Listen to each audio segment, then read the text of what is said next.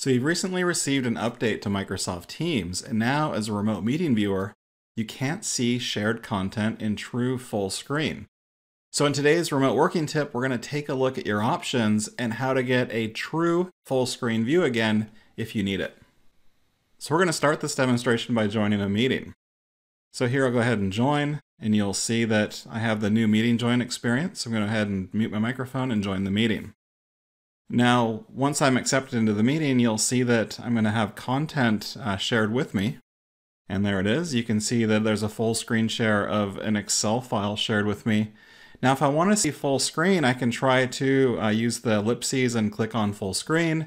And that gets it more or less to full screen. And I can also choose the focus mode, which gets me almost a full screen except for those two stripes of the UI on top. But what if I want a true full screen? So let me leave the meeting. Now I'm going to go into settings. And here in settings, if we turn off the new meeting experience, we can do that and it will give us back the previous experience. We're going to close this down. Now remember in Teams, to quit Teams, you have to go into the system tray and quit the application. So now the application needs to reset. And once we restart the Teams process, we'll search for Teams here in the Start menu you'll see that it will launch with the previous Teams experience. I'm going to go ahead and join the meeting. You can see it's in the same window now. So I'm going to click Join Now.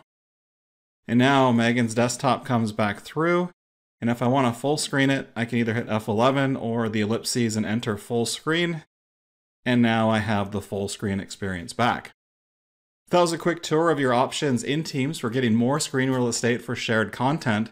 Now, for more tips like this, be sure to check out the rest of our series at aka.ms slash WFH Mechanics. Subscribe to our channel if you haven't already, and thanks for watching.